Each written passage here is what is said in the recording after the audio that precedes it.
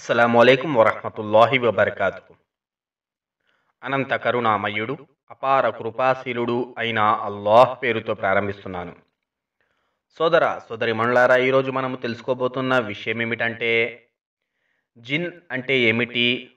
మరియు వాటి పుట్టు పూర్వోత్తరాలు వారి యొక్క వాస్తవం ఏమిటి అన్న దాని గురించి ఈరోజు మనం తెలుసుకోబోతున్నాం. ఖురాన్ గ్రంథంలోని సూర్య జారియాత్ యాభై ఒకటవ అధ్యాయము యాభై ఆరవ వాక్యాన్ని మనం పరిశీలించినట్లయితే అల్లా సుబానవతాల ఖురాన్ గ్రంథంలో ఈ విధంగా అంటున్నాడు. నేను జిన్నాతులను మానవులను నా ఆరాధన కొరకు తప్ప మరే దేనికోసము వాటిని సృష్టించలేదు అని అల్లాహ్ అంటున్నాడు. అంటే జిన్నాతులను ఆదేశించడం జరిగింది అల్లాను ఆరాధించండి అని. మానవులను కూడా ఆదేశించడం జరిగింది అల్లాను మాత్రమే ఆరాధించమని. ఏ విధంగానైతే మనుషుల్లో విశ్వాసులు అవిశ్వాసులు మంచివారు చెడ్డవారు ఉంటారో అదేవిధంగా జిన్నాతుల యొక్క జాతిలో కూడా ఉంటారు. వాటిలో కూడా అల్లాను ఆరాధించే ముస్లింలు జిన్నాతులు ఉన్నారు మరియు మానవులలాగానే చెడు చెడువైపు ప్రేరేపించే వారు కూడా ఉన్నారు. అల్లాను ఆరాధించని వారు కూడా జిన్నాతులలో ఉన్నారు. ఖురాను గ్రంథంలోని సూర్య అంబియా నూట ఏడవ వాక్యాన్ని మనం పరిశీలించినట్లయితే అల్లా సుబనావతాల అంటున్నాడు ఓ ముహమ్మద్ సల్లల్లాహు సల్లం మేము నిన్ను సమస్త లోక వాసుల కోసం కారుణ్యం చేసి పంపాము. ప్రవక్త ముహమ్మద్ సల్లల్లాహుస్లం వారు సమస్త లోకవాసుల కోసం అంటే జిన్నాతుల కోసం కూడా ఆయన ప్రవక్తగా చేసి చేయబడ్డారు. ఖురాన్ గ్రంథాన్ని మనం పరిశీలించినట్లయితే ఖురాన్ మరియు ప్రవక్త సల్లల్లాహుస్లం వారిని విశ్వసించినటువంటి జిన్నాతుల ప్రస్తావన ఖురాను గ్రంథంలో వస్తుంది. ఖురాను గ్రంథం సుర అహకాఫ్ నలభై ఆరవ అధ్యాయము ఇరవై తొమ్మిది నుంచి ముప్పై రెండవ వాక్యాన్ని మనం పరిశీలించినట్లయితే అవి ఖురాన్ విన్న తరువాత తమ జాతి ప్రజలకు హితబోధ చేయడం జరిగింది. అల్లా వైపు పిలవడం కూడా జరిగింది. ఇది ఖురాన్లో మనకి కనబడుతుంది. ఇక జిన్నాతుల పుట్టుక వాటి యొక్క పూర్వతరాలు మనం చూసినట్లయితే ఖురాన్లోని సురే బహ్రా ముప్పైవ అధ్యాయంలో ఇలా వస్తుంది. ఈ సంఘటనను జ్ఞాపకం చేసుకో. నేను భూమిలో ఒక ప్రతినిధిని పుట్టించబోతున్నాను అని ప్రభు తన దూతలతో అన్నప్పుడు వారు భూ వ్యవస్థను అస్తవ్యస్తం చేసే రక్తం చిందించే వాణ్ణి నియమించబోతున్నావా ప్రభువా అని దైవదూతలు అన్నారు. ఈ వాక్యం ప్రకారం చూసినట్లయితే దైవదూతలు ఈ మాటలు ఎందుకు అన్నారు అంటే మానవ జాతి కన్నా ముందు ఏదైనా జాతి ఉందా అంటే అది జిన్నాతుల జాతి. అది భూ వ్యవస్థను అతలాకుతలం రక్తహీనంగా రక్తం చిందించే వారిగా చేయబడ్డాయి. భూలోకంలో మానవుల కంటే ముందు జిన్నాతుల జాతి ఉంది. వాటి యొక్క పుట్టుక ఎలా జరిగింది అంటే ఖురాను గ్రంథంలోని సూర్య అర్ రెహమాన్ యాభై ఐదవ వాక్య అధ్యాయము పదిహేనో వాక్యాన్ని మనం చూసినట్లయితే జిన్నాతులను అల్లాహ్ సుబానవతాల అగ్ని జ్వాలలతో పుట్టించాము అని అంటున్నాడు. అదేవిధంగా సూర్య హిజర్ని మనం పరిశీలించినట్టే సూర్య హిజర్ పదిహేనవ అధ్యాయము ఇరవై ఏడవ వాక్యంలో దీనిని పూర్వం జిన్నాతులను మేము తీవ్రమైన ఉష్ణ జ్వాలలతో సృజించాము అని కూడా ఉంది. అంటే జిన్నాతుల యొక్క పుట్టుగా అగ్ని జ్వాలలు ఉష్ణ వాయువు ఉష్ణముతో అంటే వేడితో చేయడం జరిగింది. ఇక మనం ఇబ్లీష్ అన్న పేరు వింటూ ఉంటాము. ఇబ్లీసు ఏ జాతికి చెందినవాడు అంటే ఖురాన్ గ్రంథం దాని గురించి కూడా చెబుతుంది. ఖురాన్ గ్రంథంలోని సురకహఫ్ పద్దెనిమిదవ అధ్యాయము యాభై వాక్యాన్ని మనం పరిశీలించినట్లయితే అతడు అంటే ఇబ్లీస్ జిన్నాతులలోని వాడు. కనుకనే తన ప్రభువు ఆజ్ఞను ఉల్లంఘించడానికి ఒడిగట్టాడు. ఇబ్లీస్ జిన్నాతుల జాతికి చెందినవాడు. ఇబ్లీస్ యొక్క పుట్టుక ఎలా జరిగింది అంటే సూర్య సాద్ ఖురాన్లోని ముప్పైవ ఎనిమిదవ అధ్యాయము డెబ్బై ఆరవ వాక్యంలో అతను అంటే ఇబ్లీస్ ఇలా సమాధానం ఇచ్చాడు నేను అతడి కంటే శ్రేష్ఠుణ్ణి మీరు నన్ను అగ్నితో పుట్టించారు. అంటే ఇబ్లీష్ ఎప్పుడైతే ప్రవక్త ఆదం అలీస్లాంని సజ్జా చేయడానికి నిరాకరించాడో అప్పుడు అంటున్న సమాధానం ఇది నేను అగ్నితో పుట్టించబడ్డాను.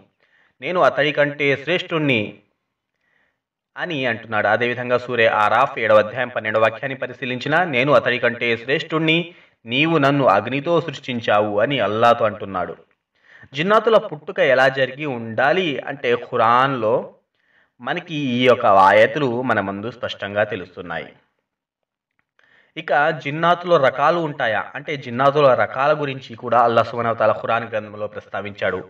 అదేమిటంటే సురెజిన్ డెబ్బై రెండవ అధ్యాయము పదకొండవ వాక్యంలో ఇలా అంటున్నాడు. మనలో కొందరు సజ్జనులు ఉన్నారు మరికొందరు దీనికి భిన్నంగా ఉన్నారు. మనం విభిన్న పద్ధతులలో విభజించబడి ఉన్నాము అని జిన్నాతులు సురజిన్ సూరాలో మనకి చెప్తున్నట్టుగా ప్రస్తావన మనకి స్పష్టంగా తెలుస్తుంది. ఇక ఖురాన్ గ్రంథంలోని ముప్పై ఎనిమిదో అధ్యాయము సూర్యసాద్ ముప్పై ఏడు నుంచి ముప్పై ఎనిమిది వాక్యాల్ని మనం చూసినట్లయితే మేము శైతానులను అతని ఆధీనంలో ఉంచాము.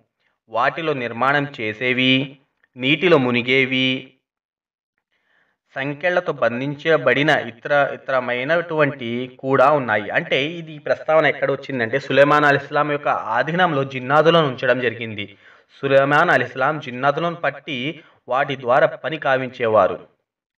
దీనిలో ఆ ప్రస్తావనే వచ్చింది. అంటే జిన్నాతుల జాతుల్లో రకరకాలవా ఉన్నాయి. కొన్ని నిర్మాణాలు చేస్తాయి భవనాలు భవంతులు కడతాయి. మరికొన్ని నదులలో సముద్రాలలో మునిగి ఈదంచ ఈదగలవు. మరికొన్ని సంఖ్యలతో బంధించబడి ఉన్నాయి. ఇంకా రకరకాల జిన్నాతులు ఉన్నాయని ఖురాన్ మనకి ప్రస్తావ స్పష్టంగా తెలియజేస్తుంది. సహీ బుఖారి గ్రంథం నుంచి మనం ఒక హదీస్ని చూస్తున్నాం. సూర్య హదీసు సహీ బుఖారి కితాబుల్ అంబియా నుంచి మనం హదీస్ చూద్దాం. అబూహురేర రది అల్లాహు తాలాను వారి యొక్క ఉల్లేఖనం ప్రకారం ప్రవక్త సల్లల్లాహం వారు ఇలా ప్రవచించారు. నేను నమాజ్ చేస్తుండగా ఇఫ్రిత్ జిన్నాతులలో ఒకటి నా ముందు వెనుకను వచ్చి నా నమాజులో ఆటంకాన్ని కల్పించసాగింది. నేను దానిని అల్లా కారుణ్యం వల్ల పట్టుకున్నాను. నేను అప్పుడు ఇలా ఆలోచించాను ఈ జిన్నాత్ను కట్టివేసి మీ అందరికీ చూపించదలిచాను. కానీ నాకు ఖురాన్లోని ఆ ఒక్క వాక్యము ఆయతు గుర్తుకు వచ్చింది. దాని వలనే వదిలివేశాను. ఈ హదీసు ఖురాన్లోని సూర్య సాద్ ముప్పై ఎనిమిదవ అధ్యాయం ముప్పైవ ఆయతు పరిధిలో రాయడం జరిగింది. అంటే ప్రవక్త సుసం వారు ఆ జిన్నాతులను వదిలివేయడానికి కారణం తెలియజేశారు. జిన్నాతుల మానవులను ఆవహిస్తాయా అన్న దాని గురించి మనం చూసినట్లయితే అంటే జిన్నాతులు కూడా మానవుని ఆవహిస్తాయి. దీని గురించి ఖురాన్ గ్రంథం మనకి సాక్ష్యం ఇస్తుంది. ఖురాన్ గ్రంథం సూర్య అషూరా ఇరవై ఆరో అధ్యాయము రెండు వందల ఇరవై ఒకటి రెండు వందల ఇరవై రెండో వాక్యాన్ని మనం చూసినట్లయితే ప్రజలారా శైతానులు ఎవరిపై దిగుతాయో నేను మీకు తెలుపనా? అవి వంచకుడైన ప్రతి దుర్మార్గుడిపై దిగుతాయి. గాలి వార్తలను చెవులలో ఊదుతాయి. వాటిలో అబద్ధాలు చెప్పేవి ఎక్కువ. అంటే అబద్ధికులపై అవాంఛికులపై శైతానులు దిగుతాయి. మరియు ఖురాన్ గ్రంథంలోని సురే అనాం ఆరో అధ్యాయం నూట ఇరవై ఎనిమిదో వాక్యంలో మనం పరిశీలించినట్లయితే అల్లా వారి అందరినీ చుట్టుముట్టి సమావేశపరిచిన రోజు జిన్నాతులను అంటే జిన్నాతులోని శైతానులను సంబోధిస్తూ ఇలా అంటున్నాడు. జిన్నాతు వర్యులారా మీరు మానవ జాతిని పూర్తిగా వాడుకున్నారు. మానవులలోని వారి మిత్రులు ఇలా విన్నవించుకున్నారు. ప్రభు మేమంతా ఒకరినొకరు బాగా వాడుకున్నాము. అంటే ఒకరి ద్వారా ఒకరు ప్రయోజనం పొందడం కోసము మానవులు జిన్నాతులను వాడుకున్నారు మరియు జిన్నాతులు మానవులను వాడుకున్నారు. అది ఏ విధంగా అంటే మానవులు జిన్నాతులను మరొకరిపై ఆవహించే ప్రేరణ చేశారు. ఇది ఇక్కడ ఈ ఖురాన్ వాక్యాల ద్వారా మనకి స్పష్టంగా తెలుస్తుంది. ఖురాన్ గ్రంథంలోని సూరే నాస్ నూట పద్నాలుగో అధ్యాయము నాలుగు నుండి ఆరో వాక్యాన్ని మనం పరిశీలించినట్లయితే దుష్ట భావాలు రేకెత్తించే వాడి కీడు నుండి వాడు మాటి మాటికి మరలి వస్తూ ప్రజల మనసులలో దుష్ట భావాలను రేకెత్తిస్తాడు. వాడు జిన్నాతుల జాతికి చెందినవాడైనా కావచ్చు లేక మానవ జాతికి చెందినవాడైనా కావచ్చు. అంటే మానవుడు పెడద్రోవ పట్టించే శక్తి అల్లా సుబానవతాల జిన్నాతుకు అంటే శైతానుకు ఇచ్చి ఉన్నాడు. అదిగాక ప్రతి మనిషి వెంట ఒక శైతాను ఉంటాడు. వాడతనిని ఎంతసేపటికి మార్గం తప్పించేందుకు ప్రయత్నిస్తూ ఉంటాడు. ఈ విషయాన్ని దేవప్రవక్త సలల్లాహుసలం వారు తమ సహచరులతో అన్నప్పుడు ఉదయ ప్రవక్త సలల్లాహుసలం వాడు తమరిని కూడా వెన్నంటి ఉంటాడా? అని సహచరులు అడిగారు. దానికి సలల్లాహుసలం వారు అవును నా వెంట కూడా ఉంటాడు. అయితే వాడికి వ్యతిరేకంగా అల్లాహ్ నాకు తోడ్పడ్డాడు. అందువల్ల వాడు నాకు లొంగిపోయాడు. వాడు నాకు మంచిని తప్ప మరేది బోధించాడు. అని ప్రవక్త సలల్లాహుసలం వారు తెలియజేశారు. అంటే ఈ మొత్తం అంశం ద్వారా మనకు తెలిసిన విషయం ఏమిటంటే జిన్నాతులు అగ్ని ద్వారా పుట్టించబడ్డాయి. వాటిలో నుంచే ఈ ఇబ్లీష్ శైతాను కూడా ఒకటి అని తెలిసింది. మరియు జిన్నాతులో రకాలు ఉంటాయి వారు నిర్మాణాలు చేసేవారు మరియు నీటిలో ఈదేవారు సంఖ్యలతో బంధించబడిన వారు ఇతర ఇతర రకాల జిన్నాతులు ఉన్నాయి. అని తెలిసింది. ఆ తరువాత జిన్నాతులు ఆవహిస్తాయి. జిన్నాతుల ద్వారా మనుషులు సహాయం పొందుతున్నారు మరియు జిన్నాతులు మానవుల ద్వారా సహాయం పొందుతున్నారు. ఒకరికొకరు సహాయం చేసుకుంటున్నారు అని కూడా ఖురాన్ మనకి స్పష్టంగా తెలియజేసింది.